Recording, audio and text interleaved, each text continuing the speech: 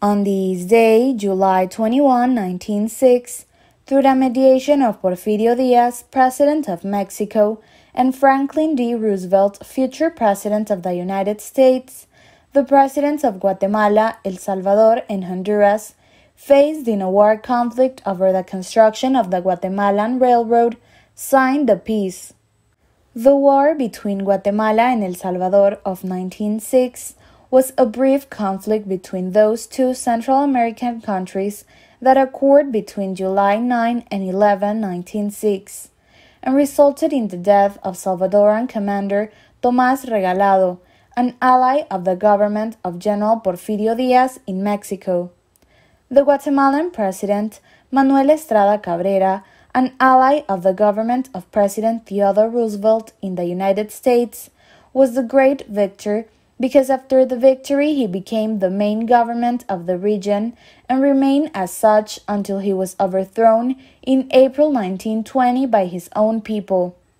Faced with this situation, Estrada Cabrera issued a proclamation on July 10, 1906, in which he accused the Salvadoran government of invading Guatemala to prevent the completion of the Northern Railway and to put an end to the attempts of economic recovery of the Guatemalan government.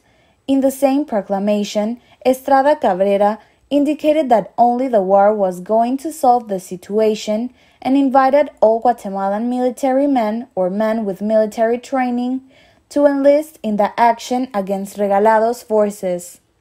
That same day, Decree number 662 was issued, where all men without legitimate exception between 18 and 50 years of age, they had to report to their nearest barracks, and if they did not, they would be persecuted for treason. Citizens responded to the president's call, and on July 11 there were numerous citizens in the quarters. The Guatemalan army requested reinforcement troops, which arrived from Sanarate, Salama, and Momostenango these troops came dressed in blue and not khaki like the originals, which deceived Regalado, whose troops also wore blue. On July 11, 1906, Regalado was killed by Guatemalan soldiers when he believed he was among loyal troops. 7 Jalapenco Colonel Rosalio Lopez Jimenez sent the following telegram to Estrada Cabrera after Regalado's fortuitous death. From six o'clock in the morning, the combat began. I took the Honduras to go to Coatepeque, where I received reinforcements from the battles Momostenango and Sanarate, and where Regalado came with the flag and the boys flew it.